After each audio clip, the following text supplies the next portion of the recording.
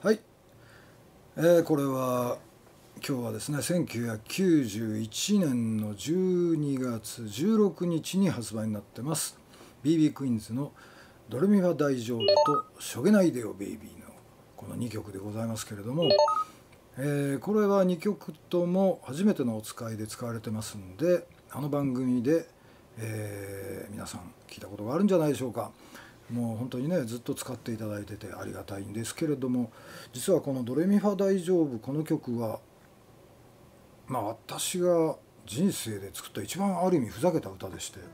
これねメロディーがドレミファソラシドとドシラスファミレドしかないんですよ。ドレミファソラシドドシラソファミレドレミファソラシドで次の部分がドシラソファミレドシラソファミレドシラソファミレときてドレミファソラシこれだけでできてるんですね。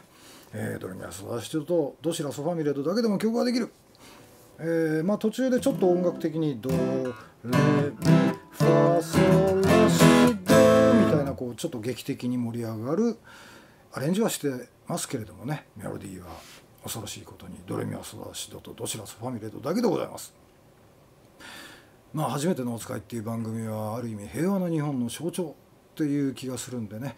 えー、いつまでもあれが流れ続けるそんな日本であってほしいなと強く思います。